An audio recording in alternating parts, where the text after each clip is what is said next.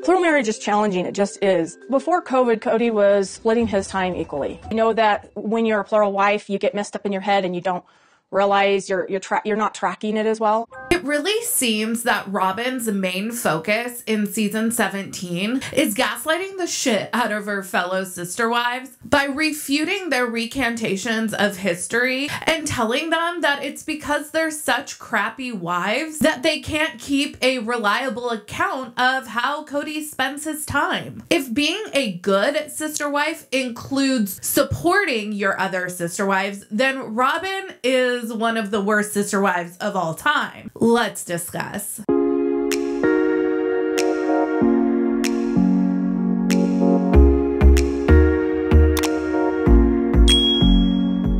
Hey everyone, what's up? It's Sarah and welcome back to my channel. So Robyn and Kody especially Robyn, seem to be on this really bizarre PR campaign that involves this insistence that Kody is super busy giving equal time to all of his wives and all of his households. We have seen time and time again Mary, Janelle, and Christine all comment on the time inequality and blatant favoritism. We've even seen outside non family members comment on it. Remember in season eight, the anthropology students called out that Kody does not spend his time equally. Frankly, it just does not make sense to me that Robyn is so insistent that Kody actually does spend his time equally divided between the four houses. Cause, like, Robs, my girl, if Kody is not at your house, and you're thinking or assuming he's at the other houses, then girl, I think you opened up a whole other can of worms. So we have Mary talk about, and Kody has confirmed that Mary is out of the rotation because Kody and Mary have said bye bye a long time ago to their intimate relationship. I mean, back at the beginning of season 16, Kody didn't even know that Leo and Audrey left after quarantining at Mary's house for a couple weeks to go run the B&B. This was documented on camera, so I mean, it's really irrefutable. Then we have Janelle, who apparently told Kody to stay away at the beginning of the pandemic, which I feel like she should have included her children in on that before making such a unilateral decision, but so be it. Garrison and Gabriel said that someone could literally have gotten pregnant and had a child in the amount of time it's been since they've last seen their dad. And Janelle never says that her boys are wrong. She's just constantly telling us how much she doesn't keep tabs on Kody because that's just not her style. And in this current season, she does affirm the preference that Kody has for Robyn and Robyn's house and that it has been this way since Las Vegas.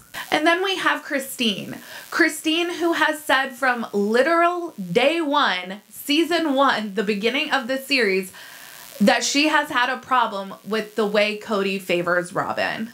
And time and time again, Christine has requested even demanded that Kody show up and be present more for her kids. Kody couches this as Christine demanding more than the other households are getting, but that's just not true. I mean, literally, Christine requested for help putting her kids to bed while she went out and worked at night. That really is not a big ask. So we have Kody admits that he doesn't see Mary except for really like family functions and maybe an occasional phone call. But we're supposed to believe that literally Janelle and Christine and every member of their household is lying about the amount of time that Kody spends there. I think given what we've seen historically and even having non-family members comment on the blatant favoritism, this scenario is just highly unlikely. And what I have found especially appalling and disappointing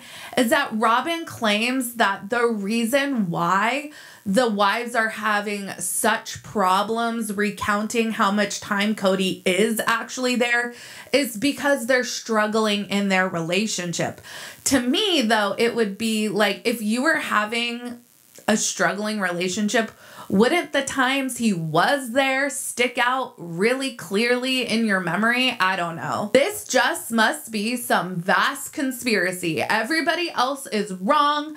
Kody and Robyn are right. I mean, come on. In episode one of season 17, Robyn says that the only way to be successful at plural marriage is to support your sister wife's marriage. But by refuting and invalidating their lived experiences, that is the opposite of supportive. As a matter of fact, it further bolsters Kody's delusion that he is upholding his responsibilities as a father and the vows that he made when he became a husband to all these women. These children that are not from Robyn are learning the harsh reality that biology does not necessarily a family make. Sometimes the people that are supposed to show up for you don't. And in the end, family is what you make it. Personally, I think Janelle and Christine are doing a fantastic job of keeping all of their kids close and a solid family unit. All of their kids are still so connected and involved with each other's lives. It's really nice to see. The kids are now growing up, they're starting their own families, and they're living by the example and the values that their mothers have shown them. Growing up, they're becoming thriving adults in spite of Kody, not because of him. Robyn says Kody is more and more angry every day and he is becoming extremely difficult to live with. I mean, if she is just sitting there just just agreeing with everything Kody says, affirming all of his BS and his delusions, that's only going to escalate the divide between Kody and the other households, meaning he's only going to get more angry the longer he's at your house.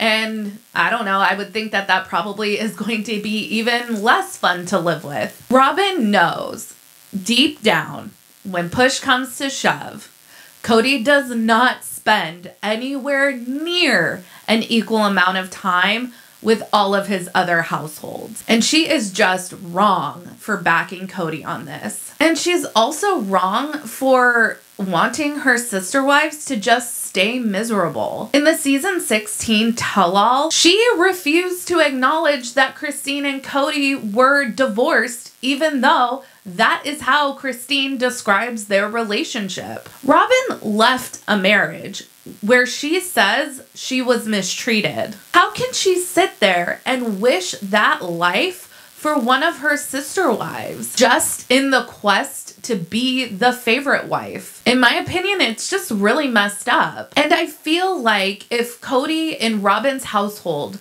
was blatantly favoring one of Robyn's kids, Robyn would never put up with that. She just doesn't carry that same energy for the rest of her family. Let me know what you guys think down in the comments. Make sure you like this video, subscribe to my channel, follow me on Instagram and Twitter at Reality Squad, and I'll catch you guys in the next video. Take care. Have a good one. Much love.